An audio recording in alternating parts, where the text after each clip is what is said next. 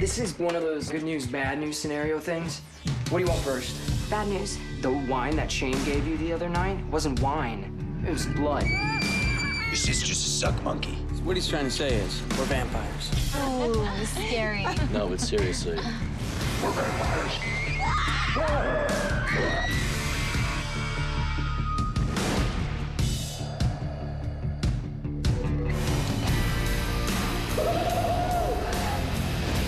You have to see the world the way we do.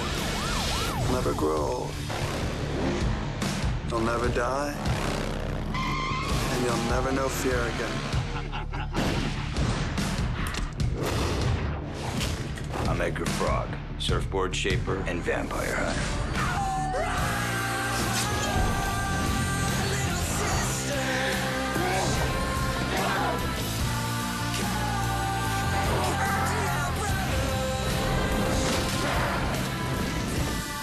Let's go kill some vampires.